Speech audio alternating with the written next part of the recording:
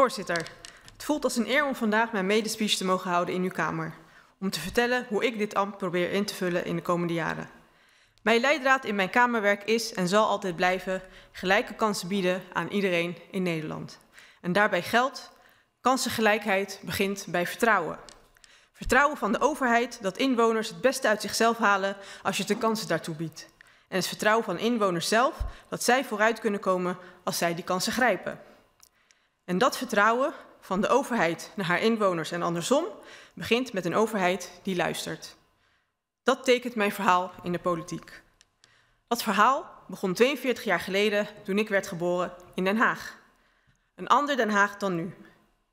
Wie voor een dubbeltje geboren is, wordt nooit een kwartje, was niet alleen een stom en uitgekoud spreekwoord, maar ook een realiteit voor veel mensen. En ook, al was die kansenongelijkheid overal zichtbaar in mijn omgeving, op school, in de buurt, in die tijd werd het niet aangepakt.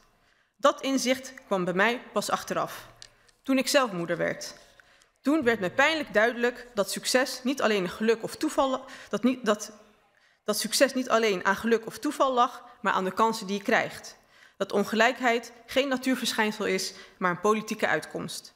En dat je kansen in het leven te maken hebben met de cijfers van je postcode, de centen in de portemonnee van je ouders en de kwaliteit van het onderwijs in jouw buurt. In mijn Nederland, waar ik vanuit deze Tweede Kamer mede vorm aan mag geven, staat kansengelijkheid centraal. Een gelijke kans op een bloeiende start van het leven. Door goede kinderopvang en het beste onderwijs. Een gelijke kans op een vrolijk leven, ook voor mensen met een beperking. Een gelijke kans op een mooie ouderdag door liefdevolle zorg in verpleeghuizen. Ik sta hier om daarvoor te knokken. En dat ik hier sta begon eigenlijk met een simpel mailtje terug van een wethouder. Een wethouder die in die mail liet blijken echt naar mij te luisteren en naar Transvaal te luisteren. En ons probleem op te willen lossen. Een zogenaamde zwarte school werd de sleutel tot succes. Ik dacht, het kan wel. Een luisterend oor vanuit de politiek. Voorzitter, er is werk aan de winkel. Het is nu tijd voor actie. Nu wil ik mijn oor te luisteren leggen. Mijn vleugels uitslaan op plekken waar ik nog nooit ben geweest. Zo wil ik het vertrouwen dat ik van de kiezer heb gekregen inzetten om gelijke kansen te creëren voor iedereen in ons land. Want wij werken aan een optimistisch Nederland met een blik op de toekomst. Met als kompas onze idealen van vrijheid voor het individu en radicale kansengelijkheid. Met aandacht en begrip voor mensen die vastlopen of niet mee kunnen komen. Het luisteren naar mensen is voor mij ook de basis in de behandeling van dit wetsvoorstel. Het betekent namelijk dat voor mij de cliënt centraal staat. De cliënt is natuurlijk gebaat bij minder regeldruk, zodat zorgprofessionals vooral kunnen werken aan betere zorg in plaats van papierwerk. Verplichte Europese aanbestedingen zijn daarbij voor veel mensen in de zorg een doorn in het oog. Daar moeten we dus naar kijken. Tegelijkertijd is het ook in het belang van de cliënt dat hij of zij de beste zorg kan krijgen en zelf de regie heeft. Daarover hebben wij nog enkele vragen. Dat begint met de vraag hoe cliëntenorganisaties zijn betrokken bij dit wetsvoorstel. Wij lezen in de nota naar aanleiding van het verslag dat dat eigenlijk niet het geval is geweest. Is de staatssecretaris bereid om met cliëntenorganisaties in gesprek te gaan? Hun betrokkenheid is volgens mij belangrijk, bijvoorbeeld voor het, keuze, bijvoorbeeld voor het vraagstuk rond uh, keuzevrijheid.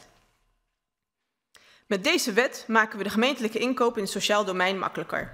Dat is belangrijk. Maar in sommige gevallen kan een zwaardere inkoopprocedure wel zorgen voor een goede inzicht wat de beste zorg is voor de beste prijs. Laten we niet het kind met het badwater weggooien. Hoe borgen we dat de juiste effectieve checks en balances gevolgd worden waar nodig? En kan de staatssecretaris ingaan hoe deze stap zich verhoudt tot andere wetsvoorstellen, zoals de wet integere bedrijfsvoering zorgaanbieders, die juist proberen een scherpere controle te laten plaatsvinden binnen de zorginkoop, zodat zorggeld niet naar aanbieders gaat zonder integere bedrijfsvoering. Verder zou ik het graag willen hebben over open house constructies in de inkoop. D66 begrijpt de gestelde problemen met open house goed.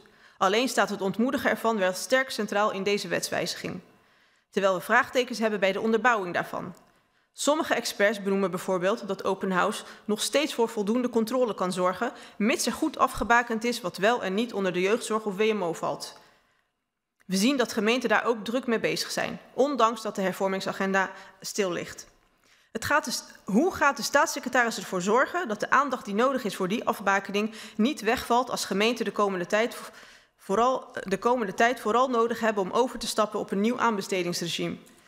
Wat is de voortgang in de gesprekken die VWS voert met gemeenten op dat vlak? Ligt daar niet de sleutel om met minder regeldruk en controle te komen tot de juiste zorg voor de juiste prijs? Met dit wetvoorstel wordt dus de mogelijkheid gecreëerd om gebruik te maken van het lichte aanbestedingsregime. Dat voorziet in een behoefte, maar zorgt het ook niet voor extra complexiteit door het toevoegen van een nieuwe vorm aanbesteding en misschien dus meer verschillen tussen gemeenten in aanbestedingsvormen? Deze vraag hebben we gesteld in het verslag, maar is niet beantwoord.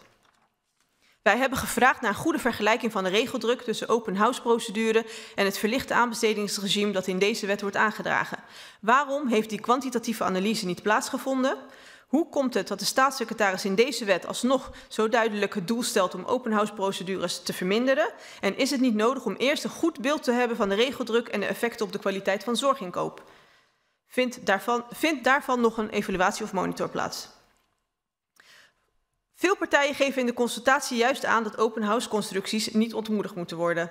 Welke argument heeft VWS om dat toch als beleidsdoel neer te zetten in plaats van gemeenten zelf te laten bepalen hoe zij hun aanbesteding inrichten? Verder noemen partijen ook een risico bij de doelstelling om open house procedures zo, zo uh, veel mogelijk te verminderen. Namelijk het risico dat kleinere zorgpartijen niet meer in aanmerking komen en daarmee de keuzevrijheid voor cliënten onder druk komt te staan. Kan de staatssecretaris onderbouwen waarom volgens hem de aanbestedingswet inderdaad voldoende waarborg biedt dat deze aanbieders een kans blijven maken?